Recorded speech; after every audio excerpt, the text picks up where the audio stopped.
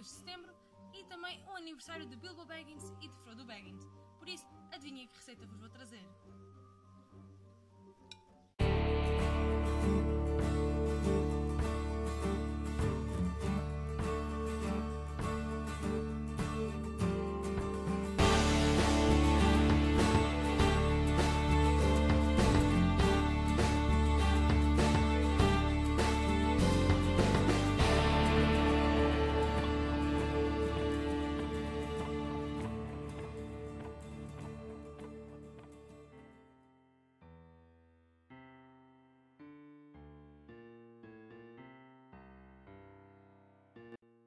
O Sr. Bilbo Baggins, do fundo do saco, anunciou que celebraria em breve o seu centésimo décimo primeiro aniversário, com uma festa de grande magnificência, falou-se muito e houve muita excitação em Hobbiton. Aos 99 anos, Bilbo adotou Frodo como seu herdeiro e levou-o para fundo do saco. Por coincidência, Bilbo e Frodo faziam anos no mesmo dia, 22 de setembro. Passaram 12 anos. Bilbo ia completar 111 anos número muito curioso e idade muito respeitável para um hobbit. O próprio velho Tuco só chegar aos 130. E Frodo completaria 33 anos. Também um número importante e o início da sua maioridade. Depois de todos os convidados terem sido recebidos, houve canções, danças, música, jogos e, claro, comes e bebes. Havia três refeições oficiais: almoço, merenda e jantar, ou ceia mas o almoço e a merenda distinguiram-se principalmente pelo facto de todos os convidados estarem sentados e a comer juntos. Ao passo que no resto do tempo só se viam magotes de pessoas a comer e a beber. Continuamente, desde o petisco das 11 da manhã até às 6 e meia da tarde, quando o fogo de artifício começou. Foi de facto um festim muito agradável, um banquete de veras absorvente, suculento, abundante, variado e prolongado.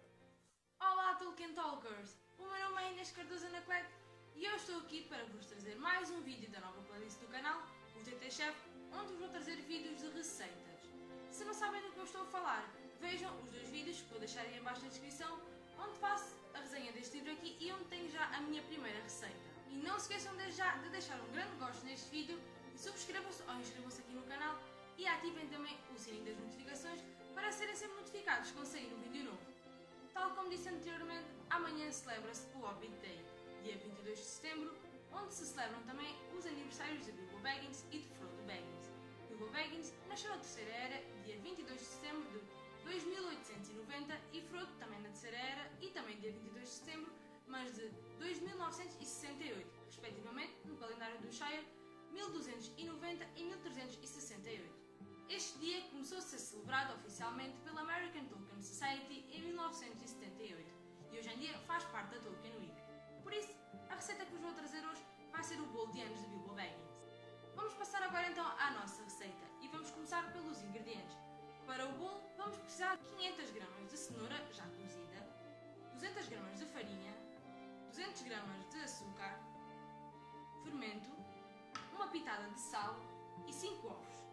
Mas estes ingredientes são apenas para um bolo com um andar. E se tentássemos recriar o bolo de anos Bilbo Baggins que aparece lá no filme da Irmandade do Anel?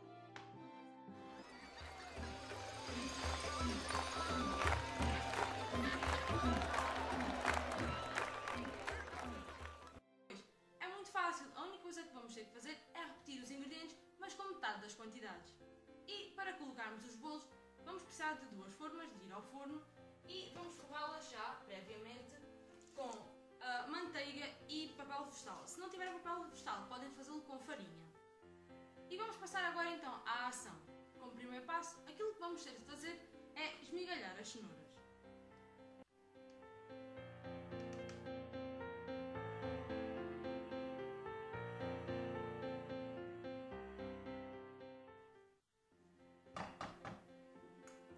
E agora já temos aqui a nossa cenoura desfeita e o nosso próximo passo vai ser separar as gemas das claras dos nossos 5 ovos. Quando estiverem a separar as gemas das claras, façam-no primeiro numa tigela diferente daquelas que vão utilizar para fazer o bolo, porque caso algum ovo esteja estragado, assim não vai entrar em contacto com os outros ovos. E agora já temos aqui as nossas claras e temos aqui as gemas neste grande recipiente. Vamos então agora bater as claras em castelo e para isso vamos adicionar uma pequena pitada de sal. Vamos lá.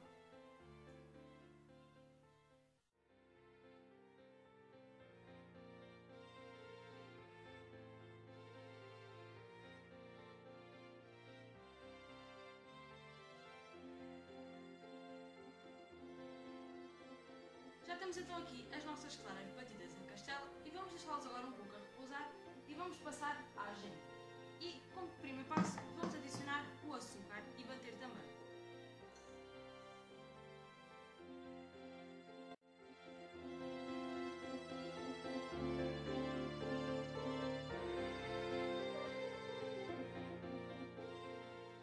temos então agora aqui as gemas com o açúcar e vamos adicionar então as cenouras.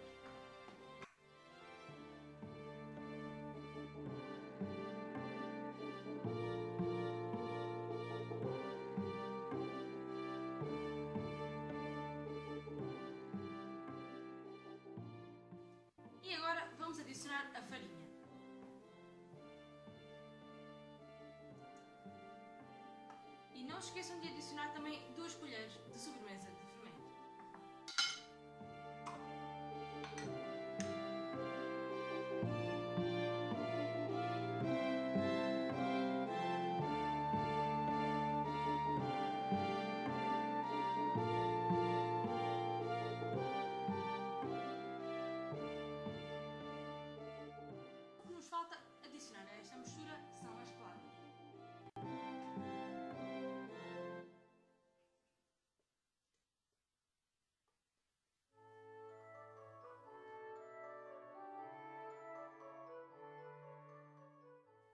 vamos então envolver.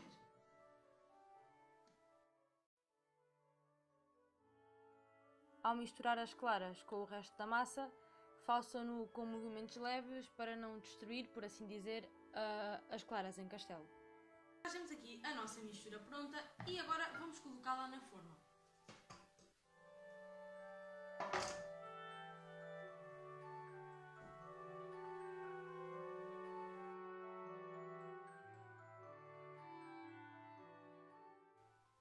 Já temos então aqui a nossa massa pronta e vamos colocá-la no forno.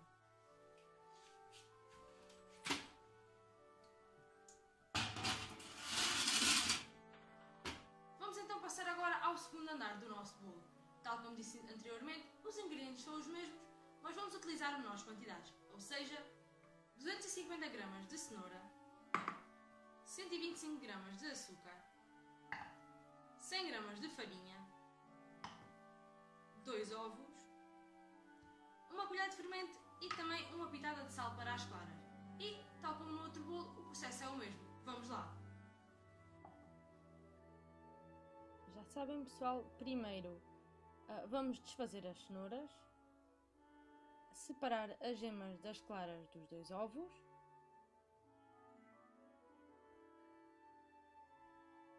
Agora vamos bater as claras em castelo com uma pitada de sal.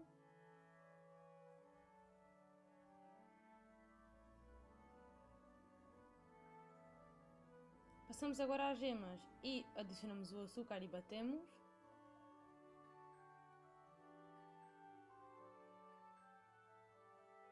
Adicionamos a cenoura e batemos novamente.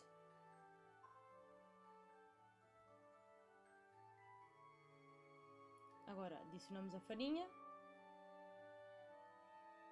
Já sabem, batemos. E por fim adicionamos as claras e vamos envolver.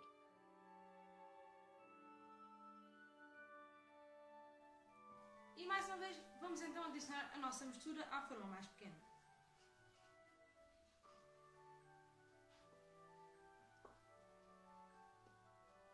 Já temos então agora aqui a massa do segundo bolo pronta e então vamos também colocar este no forno.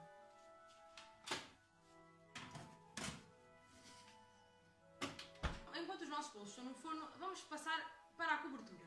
Para fazer a cobertura precisamos de dois ovos, 200 gramas de açúcar em pó, 4 colheres de sopa de água, uma pitada de sal e limão. E aquilo que temos de fazer é bater os ovos, em- as claras dos ovos em castelo e mais tarde adicionar o açúcar à água e pôr umas gotinhas de limão. Vamos a isso!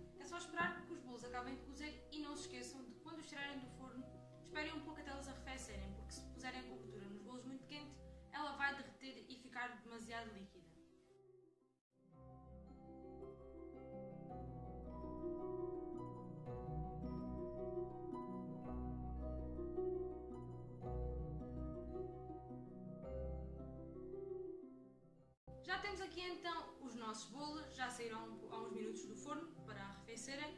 Vamos então desenformá-los.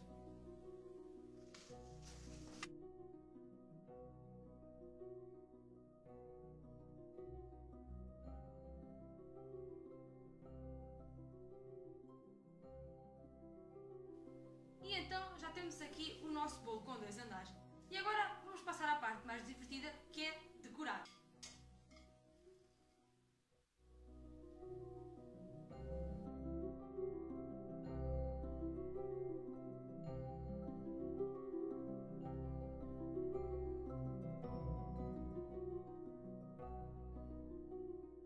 Temos aqui morangos,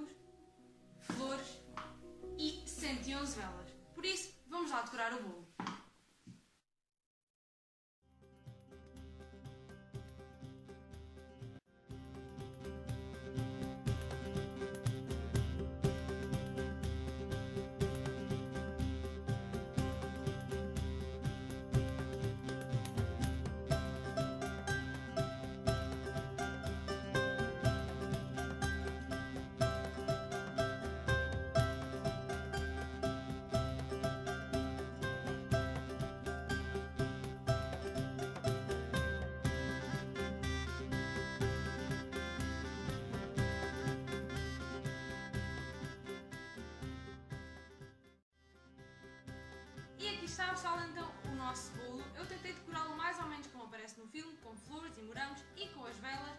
E agora vamos à parte que mais nos apraz, comer. E é isto, pessoal. Eu espero muito que tenham gostado e que se inspirem e que recriem esta receita. E se fizerem, não se esqueçam de deixar a hashtag TTChef e partilhem connosco. Não se esqueçam também de deixar um grande gosto neste vídeo e comentem se gostaram, subscrevam o canal e sigam também as nossas redes sociais e juntem-se a nós no grupo de discussão O Dragão Verde. E se quiserem ajudar o canal, têm duas formas de o fazer. Pessoal, e no Brasil, se quiserem comprar livros através da Amazon, utilizem o link do TT. E também se podem tornar padrinhos ou madrinhas, ajudar o canal com uma certa quantia monetária sem qualquer compromisso. Espero muito que tenham gostado deste vídeo, tenham um feliz dia do Hobbit, um feliz aniversário ao Bilbo e ao Frodo, e nós ficamos por aqui. Vemos no próximo vídeo, um bom apetite e um grande beijinho.